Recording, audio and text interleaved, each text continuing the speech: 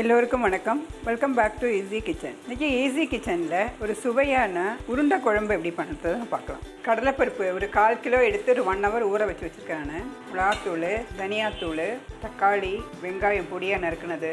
சோம்பு கொஞ்சம் பட்டை லவங்கம் மஞ்சத்தூள் புளி ஒரு நெல்லிக்காய் அளவு எடுத்திருக்கேன். பூண்டு பல் ரெண்டு மூணு எடுத்திருக்கேன். தேங்காய் கொஞ்சம் தேவைக்கேற்ப உப்பு. இப்போ பாருங்கள் நம்ம முதல்ல இந்த கடலைப்பருப்பு நல்லா வடக்கி அரைச்சிட்டு வரலாம். வடக்கி அரைக்கிற மாதிரி அரைச்சிட்டு வரலாம். இந்த பூண்டு பல் ரெண்டு போட்டிருக்கேன் இதை. ஒரு அரை ஸ்பூன் சோம்பு போட்டிருக்கேன். ஒரு ஏலக்காய் லவங்கப்பட்டை.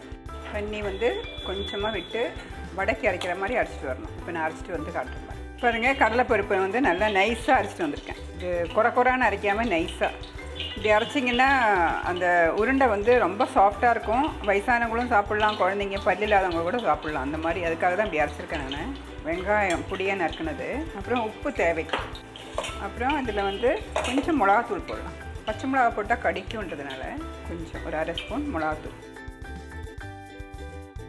நல்லா மிக்ஸ் பண்ணி நம்ம வந்து வறுத்து எடுக்கலாம் உருண்டை. பாருங்கள் எண்ணெய் நல்லா ஹீட் ஆகிடுச்சு இப்போ நம்ம வந்து இந்த உருண்டையை வந்து பொறிச்சு எடுத்துக்கலாம். சின்ன சின்னதாக இந்த மாதிரி குட்டி குட்டியாக போடுங்க. போட்டு நல்லா ஃப்ரை பண்ணி நம்ம எடுத்து வச்சுக்கலாம்.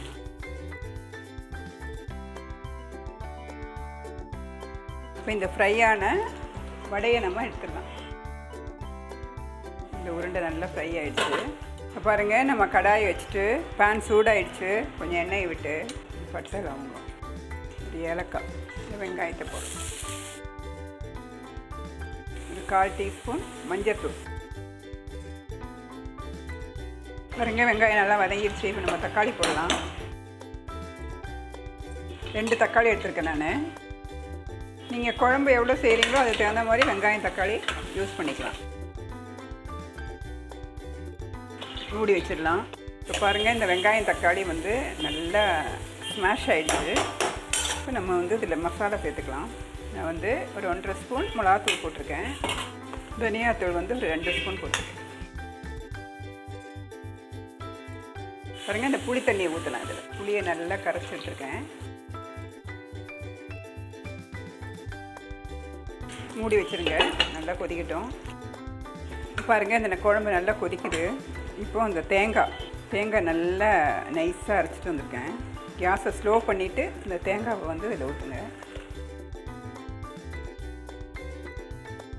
இப்போ பாருங்கள் இந்த தேங்காவை இதில் ஊற்றிட்டேன் நான். தண்ணி வந்து கரெக்டாக மிக்ஸ் பண்ணிக்கோங்க. தண்ணி வந்து இன்னும் கொஞ்சம் நம்ம இதில் விடலாம்.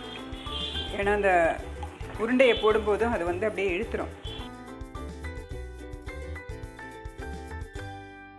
இப்போ வந்து நல்லா கொதி வரட்டும்.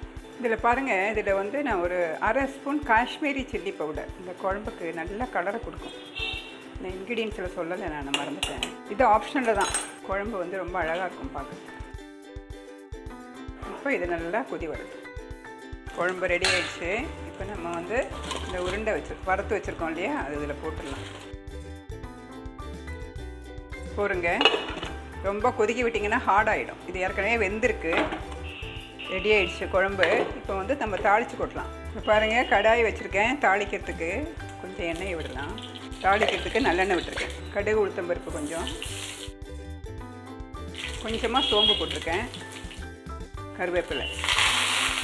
கேஸ் ஆஃப் பண்ணிடலாம். அது அப்படியே இதில் இந்த குழம்புல போட்டு.